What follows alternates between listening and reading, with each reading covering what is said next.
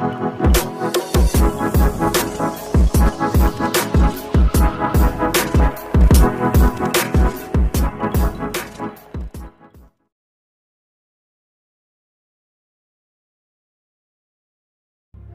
guys and welcome to the C M B certified mind blowers तो आज हम बात करेंगे expensive dogs in the world dogs dogs को हमेशा अपने मालिक से ज़्यादा लगा होता है। और वो अपने मालिक का एक वफादार बनकर ही रहता है। और कहते हैं कि जितना ख्याल एक मालिक का एक कुत्ता रख सकता है, इतना कोई एक आदमी या एक नौकर भी अपने मालिक का नहीं रख सकता। तो इनमें से कुछ ऐसे डॉग्स भी है जो दुनिया के सबसे महँगे डॉग्स में से एक है। तो आज हम बात करने वाले हैं ऐसे ही कुछ डॉग्स के बारे में। तो इस वीडियो में कुछ इन्फॉर्मेशन है।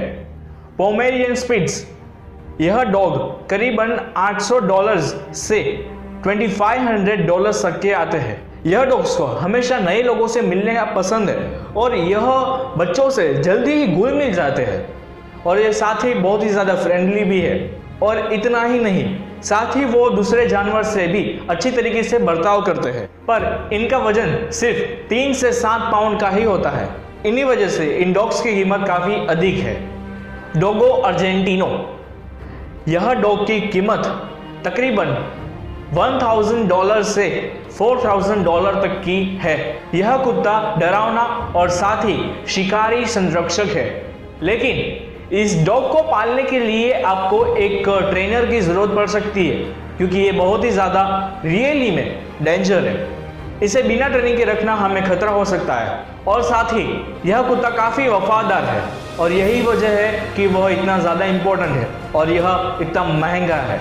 एकीटा यह डॉग की कीमत 800 डॉलर से 4500 डॉलर्स तक की है। और शायद इससे ज़्यादा भी। यह डॉग जापान से उत्पन्न हुआ है, लेकिन आज इसकी दो अलग अलग वेराइटीज़ हैं। एक जैपनीज स्ट्रेन और दूसरा अमेरिकन स्ट्रेन यह कुत्ते काफ़ी लॉयल होते हैं, लेकिन जिद्दी भी इतने ही होते हैं। और यही कारण है कि इन्हें ज़्यादा ट्रेनिंग की ज़रूरत पड़ती है। और बिना ट्रेनिंग के यह हर किसी के लिए एक खतरा होता है। रोटवेलर यह डॉग की कीमत हज़ार से लेके छः हज़ार डॉलर तक की है। और शायद इससे ज़्यादा भी अनुमान लगाया जा सकता है। यह डॉग वेल ट्रेंड होते हैं और इनकी सूंघने की शक्ति बहुत ही तेज़ होती है। और यह फैमिली के लिए एक प्रोटेक्टिव है।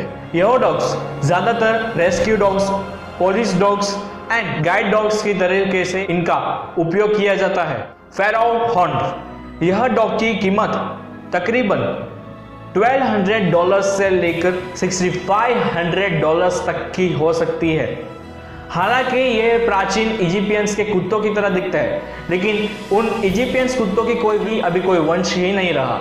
यह वजह है कि इनकी ओरिजिन एक मिस्ट्री है। यह डॉग इंटेलिजेंट एक्टिव और बहुत ही ज़्यादा फ्रेंडली होते हैं। और इतना ही नहीं, अगर ये ज़्यादा एक्साइटेड हो जाते हैं तो ये ब्लश करते हैं। उनके नोज़ और उनके कान हल्के से पिंक कलर के हो जाते हैं।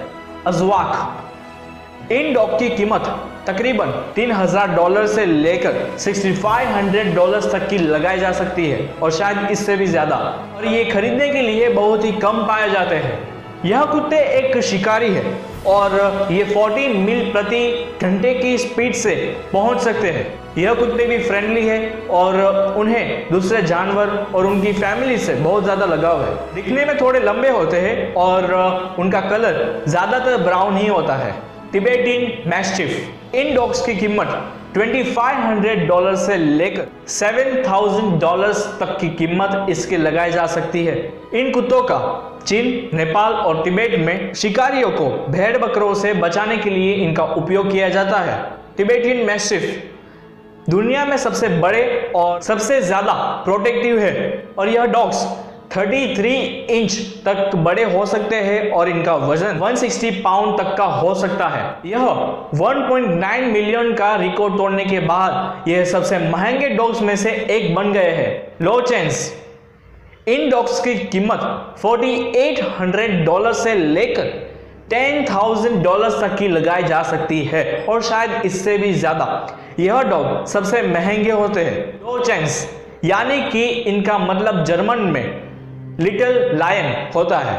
यह डॉग्स काफ़ी वफादार और दिखने में काफ़ी सुंदर होते हैं और साथ ही यह बहुत ही पुराने हैं और इसी वजह से यह अभी बहुत ही कम पाए जाते हैं और यह अच्छे दिखने की वजह से ये लोगों के बहुत ही ज़्यादा प्रिय है।